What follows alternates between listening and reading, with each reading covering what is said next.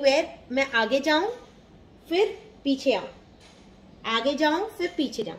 And number eight बनाएँगे हम। Stroking करेंगे तो नंबर एट की तरह। ठीक है? So let's start with this scraper thing where I take it like this get it and make it number eight can you see this wait, i'll get this a little more closer.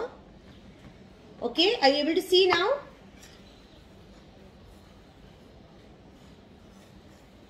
So I'm going on doing like this.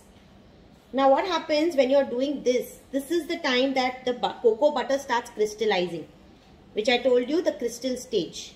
Okay, so that's when this stage is very important because we want the cocoa butter to come to that crystal stage. If it doesn't come, that shine and that snap will not happen. We're trying to bring this cocoa butter a little semi-solid basically in, in simple terms.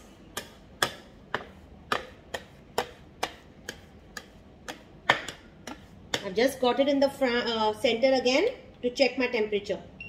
29.6 which means we are ready to go. Right? We needed 28.29. So we are ready to go. Just last time.